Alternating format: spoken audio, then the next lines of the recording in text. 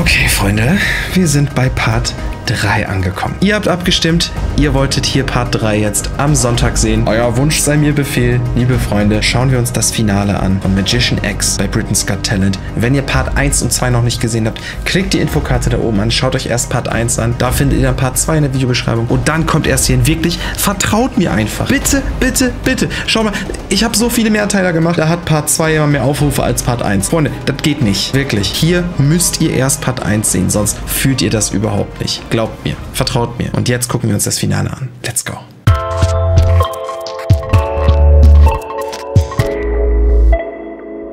Magician X im Finale. Let's go! Da läuft ja wieder dieselbe Musik, da läuft ja wieder Sunshine. Lul. In our best moments when we listen, we can understand. And when we understand, we can empathize, and then we are truly connected. We all have X in us. X is in many ways the best of me as a human being. For my final moments with you, please welcome back to the stage Ant and Deck. Die zwei, ey. Die müssen gut herhalten hier. Please stand to my left, and Ant, please stand to my right. Okay. That's much better. right way around. Yeah. In this jar are some of my memories from moments of my life.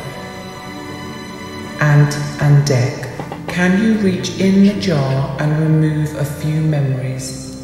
Open them up and read them to yourself to verify that what I am saying is true. Okay. Uh, yeah, these are all Can you confirm those memories are all different? Decades. Yeah. Wie er einfach schön brav gefühlt nach Skript schon sagt, die sind alle unterschiedlich. Bevor die Anweisung kommt, sind die alle unterschiedlich? Sag mal laut. Ach ja. Ach, das macht für mich persönlich immer so ein bisschen die Emotion dabei kaputt, wenn man daran erinnert wird, dass es natürlich alles gewissermaßen irgendwo ein Schauspiel ist, das man sich hier anguckt. Schade. Ich will diesen Moment genießen. Das war für mich wie als Ed Sheeran bei Game of Thrones plötzlich aufgetaucht ist. Weißt du, du bist so in dieser Welt drin und plötzlich sitzt der Ed Sheeran und du weißt, ah, das ist ja gar nicht die Welt, das ist alles nur eine Serie. Also, weißt du, was ich meine? Und genauso nimmt das so ein bisschen, ja, dieses magische, mystische daraus. Aber egal, gucken wir mal weiter. Please reach back into the jar and take one single random memory, but do not open this one until I say.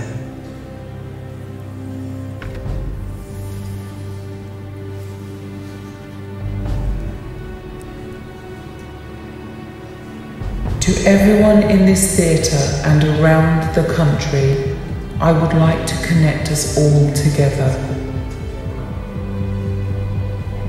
On the screen are squares and circles. Within these, I have placed words we should all embrace. in our lives. Before we begin, we will mix them.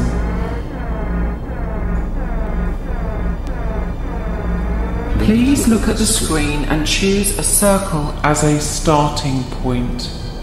Now move left or right to the nearest square. Now move up or down. Okay, macht mal alle mit, Freunde. Ich bin bei Care gestartet, sollte dann zum nächsten Quadrat, bin bei Laugh gelandet. Jetzt sagt er Up oder Down. To the nearest circle. Up oder Down. Das heißt, das wäre hier in dem Fall Love bei mir. Let's change it slightly. Move diagonally to the nearest square. Okay, das könnte jetzt Health sein oder Dream. Ich entscheide mich für Dream. And finally, move left or right to the nearest circle. Ja, so lande ich. Egal, ob ich jetzt Health oder Dream genommen hätte, ich lande so oder so bei Hope. Och Mann, warum macht er das denn im Finale? Das ist doch so, oh, das nimmt so dieses Unmögliche. In dem Moment kann sich jeder Nicht-Zauberer, jeder Laie kann sich hier denken, auf welche Art und Weise es, ah, das muss ja forciert sein. So, wisst ihr, was ich meine? Och, warum das im Finale? Hm. Also ich bin mir sicher, alle von euch, die mitgemacht haben, für euch wird es noch frustrierender sein. Für alle, die woanders gestartet sind als ich, aber am selben Punkt angekommen sind. So, wisst ihr, was ich meine? Mann, das frustriert mich, Freunde. Freunde. Oh, das ärgert mich, dass das jetzt im Finale. Er hätte nicht einen anderen Force nehmen können. Okay, ich lande bei Hope. And focus on the word within that circle. Vor allem Hope war doch das, was in dem Halbfinale ja auch schon das Stichwort war, was auf dem Instagram-Bild am Ende aufgetaucht war. Könnte auch sein, dass ich hier was falsch gemacht habe und mich gerade komplett blamiert habe mit meiner Aussage. Aber so wie ich seine Anweisung befolgt habe, bin ich bei Hope gelandet. If I name the word in your circle, please stand up if you can. If we have truly connected, we should all have hope. Ja.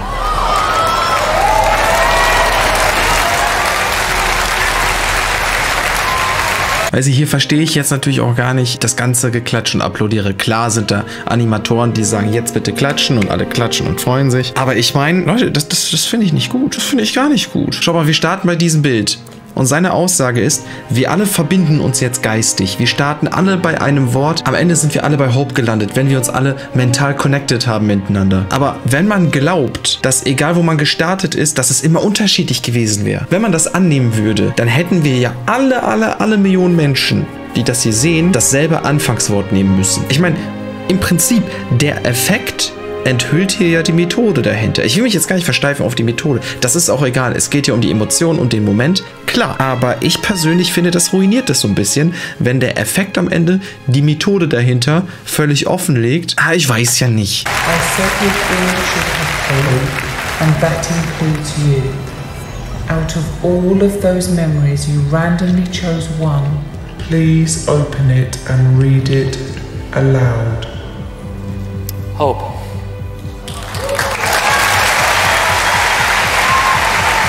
When all seems lost in our darkest moments, we will always have hope. And that is what this has all been about from the very start. This video will explain everything. The last time we were together, it was about my hope at the beginning. Hope. When you first met X at the auditions in Manchester, it was about hope. Even before you knew of X, when we met for the Und jetzt kommt die Enthüllung, wer sich hinter X verbirgt. Er war nämlich schon bei Britain's Got Talent unter seinem echten Namen. Er hat da nicht gewonnen, aber Britain's Got Talent hat ihn weltbekannt gemacht. Seine Routine da war absolut reinste Gänsehaut und ich habe ihn Blackpool getroffen. Und wenn ihr euch jetzt fragt, woher weiß ich das? Ich habe mich ja im letzten Teil über Instagram spoilern lassen. Und ja, ich drehe das hier gerade um 1 Uhr nachts, okay? X, when we met for the very first time. on that memorable day. Ja, that is Imagine er. at the end of it, he takes the hood off it, someone we know. Takes the off and it's someone we know. Someone we know. Someone we know.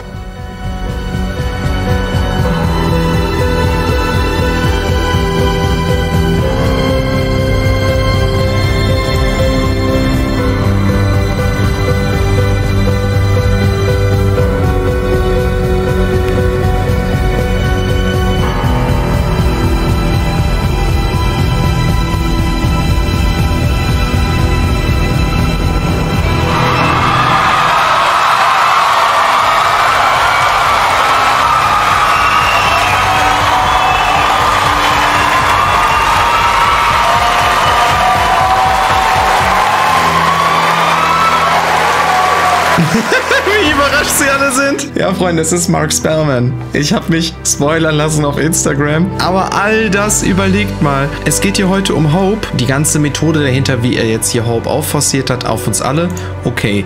Wichtiger ist natürlich, er hat in das Glas gegriffen und einen Zettel mit Hope rausgezogen. Alles schön und gut. Aber das Stichwort Hope kam in der Runde davor ja auch schon vor. Das hatte ich ja auch schon angemerkt im Halbfinale auf dem Instagram-Bild. Da, Hope. Es kam in der ersten Runde vor, Hope, und es kam vor damals bei seiner krassen Routine, bei der er auch noch mehr mit Foreshadowing gearbeitet hat.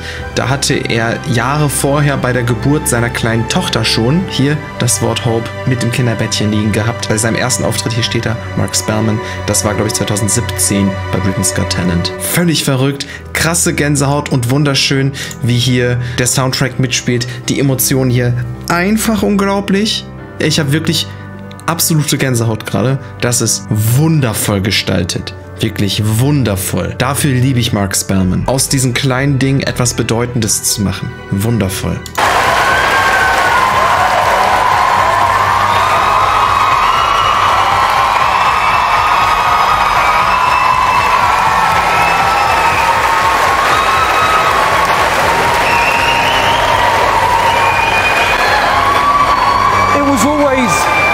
About hope and never giving up. It's been an honor sharing X with you. I am X. Thank you.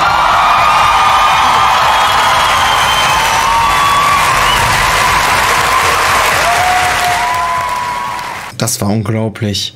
Ja, den Mark Spellman, den hatte ich in Blackpool getroffen. Hier ein kleiner Ausschnitt. Hi guys, uh, pleasure to meet you all. Uh, if you want to follow me on YouTube, it's Yeah. I am Spellman Yes. on YouTube. Awesome. Thank you very Nice to much. meet you. Pleasure to meet you. Take Pleasure. Cool. Thank you very much. See you later. See ya. Puh, das war krass, ey. Wenn wir auf den Britain's Got Talent Channel gehen, dann sehen wir And the Winner is hier in der Top 3 auf jeden Fall mit dabei bis zum Schluss. So, we're left with Colin Thackeray, Ben Hart, and X. The public chose you as this year's final three, but only one of you can leave here as tonight's winner. The third placed act in Britain's Got Talent 2019 is.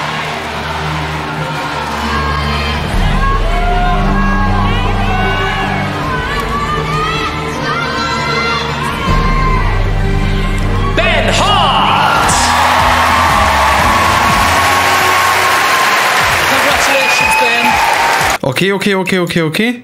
Alles schön und gut. Er war schon so nah dran vor zwei Jahren und jetzt ist er hier wirklich unter den letzten zwei.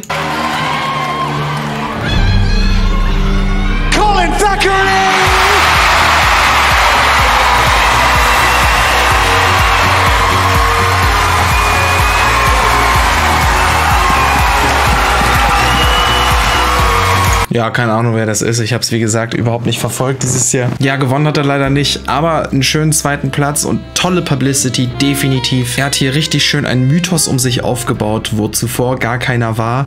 Hut ab, ey, dickes Kompliment. Das ist Showmanship. Das war für mich Drama, das war richtig, richtig spannend für mich. Und es war eine tolle Reise, bei der ihr mich natürlich mitbegleitet habt. Wir haben uns das zusammen hier angeschaut. Ich bedanke mich, dass ihr mit mir zusammen euch auf diesen Weg gemacht habt. Ich bedanke mich bei allen, die nicht vorher schon nachgeguckt haben, wer ist denn jetzt wirklich X, sondern die auf mein Reaktionsvideo gewartet haben, um mit mir zusammen diesen Moment der Enthüllung zu erfahren. Kurz mal Feedback zum Act. Wenn man die ganze Vorgeschichte nicht kennt und all das jetzt mal weglässt, finde ich, war das von den drei Acts, die wir jetzt gesehen haben, der schwächste. Wenn man jetzt aber die gesamte Historie betrachtet, ja die ganze Vorgeschichte, dann ist das natürlich ein riesiges, riesiges Stück Gänsehaut für uns alle. Toller Moment. Ich habe das definitiv sehr gefühlt und ich bedanke mich auf jeden Fall bei Mark Spellman dafür, dass er so tolle Emotionen in mir und ich denke auch in sehr vielen von euch hervorrufen konnte. Jetzt müsst ihr nur noch drei Knöpfe drücken, wenn ihr das noch nicht gemacht habt. Den Daumen nach oben Knopf, den Abonnieren-Knopf und den Glockenknopf, denn sonst kriegt ihr überhaupt nicht mit, wenn ich was Neues hochlade. So tickt YouTube leider. Dankeschön für euren Support. Bis dann, euer Matti und ciao.